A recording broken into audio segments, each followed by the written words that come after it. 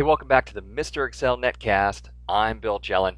Boy, today a really simple tip about the fill handle. I don't know how many times I've shown the fill handle trick. I show it in all my Power Excel seminars. The fill handle is great anytime we need to fill in months of the year, days of the week, dates, anything like that. And what I usually do is I type in the word January, hit enter, which of course moves me to A2, and then I hit the up arrow to move back to A1. Grab the fill handle and drag, and it fills in the dates for us. Now, if I don't want to move down and back, then I would generally type in January and hit Control Enter. That keeps me right in cell B1.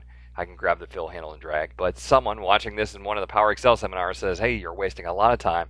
Just type January. Don't even hit enter. Just grab the fill handle and drag, and you can fill in the months without having to enter the data. Turns out that basically clicking the fill handle and not dragging is the same as hitting Control Enter. Um, and so that is a much faster way to be able to fill in the data type the value, don't even hit enter, grab the fill handle and drag, and you're good to go.